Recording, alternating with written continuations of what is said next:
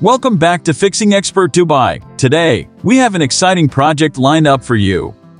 We'll show you step by step how to upholster an armchair and give it a fresh new look. So, let's dive right in. Step 1. Gather the materials. Before we begin, let's go over the materials you'll need for this project. You'll require a staple remover, fabric of your choice, upholstery foam, batting, a staple gun, scissors, a screwdriver, and some decorative trim. Make sure you have all these items ready before we proceed. Step 2. Remove the existing upholstery. Alright, let's get started with the first step, removing the existing upholstery.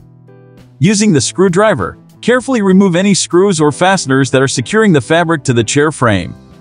Once that's done, use the staple remover to take out the staples and detach the fabric completely. Step 3. Add padding and batting.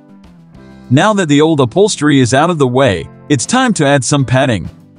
Take the upholstery foam and cut it to the shape of the chair seat and backrest. Make sure to measure accurately for a perfect fit. Next, place the foam onto the chair, ensuring it's centered and aligned properly. Step 4. Choose and attach the new fabric. The foundation is now in place. It's time for the exciting part choosing and attaching the new fabric. Lay out your chosen fabric on a flat surface and place the chair upside down on top of it. Carefully trace around the chair, leaving a few inches of excess fabric on all sides for a proper fit.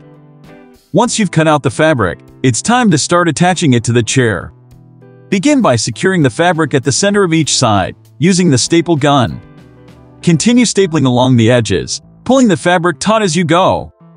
Be sure to create neat, even folds at the corners for a professional finish. Step 5. Add decorative trim. Looking good so far. Now, for that final touch of elegance, let's add some decorative trim. Measure the length required for each edge of the chair and cut the trim accordingly. Apply a small amount of fabric glue along the edge and carefully press the trim onto it. Allow it to dry completely.